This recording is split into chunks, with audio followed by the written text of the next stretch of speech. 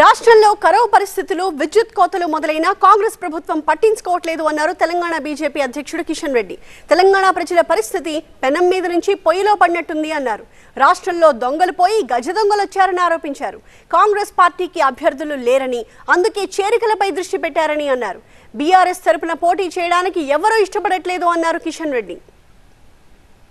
తెలంగాణ ప్రజల పరిస్థితి పెంక మీద నుంచి పొయ్యిలో పడ్డట్టు అయిపోయింది. దొంగలు పోయి గజ దొంగలు వచ్చినట్టుగా ఉంది ఈరోజు తెలంగాణలో. అందుకే నేను తెలంగాణ ప్రజానికాన్ని కోరుతా ఉన్నాను.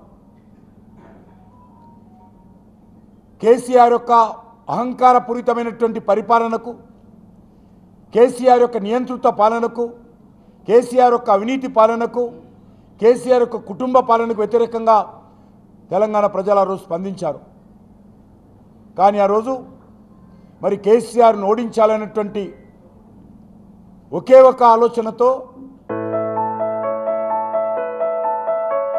ప్రతి ఒక్క ఐవీఎఫ్ క్లినిక్లో మేము మీకు ఈ డిస్కౌంట్ ఇస్తాము ఆ డిస్కౌంట్ ఇస్తామంటారు. కానీ మేము బిడ్డని ఇస్తాం అని ఎందుకు చెప్పడం లేదు? మనం ప్రామిస్ కోసం డబ్బులు ఇస్తున్నామా? లేదా తల్లిదండ్రులు కావడం కోసం చెల్లిస్తున్నామా? Nova IVF. దాగిన ఖర్చులుండవు. మీరు నమ్మగల నైపుణ్యం మాత్రమే. కాంగ్రెస్ పార్టీకి ఓటు వేయడం జరిగింది. మా పార్టీకి ఇప్పటికే అభ్యర్థులు మేము ప్రకటించాము. కాంగ్రెస్ పార్టీలో అభ్యర్థుల కొరత ఉంది. అదేవిధంగా బీఆర్ఎస్ పార్టీలో అభ్యర్థులు దొరకడం లేదు. టికెట్లు ఇచ్చినా కూడా పరిగెత్తిపోతా ఉన్నారు భయపడిపోతా ఉన్నారు. కేసీఆర్ ఫోన్ వస్తుందంటే ఫోన్ ఎత్తడం లేదు. కాబట్టి అది వాళ్ళకి సంబంధించిన విషయం. నాకు సంబంధించి ఈరోజు మేము అభ్యర్థులు ప్రకటించాము. మేము ప్రచారానికి వెళ్తున్నాము. కలిసి వచ్చేటోళ్ళు అందరినీ కలుపుకుంటాము.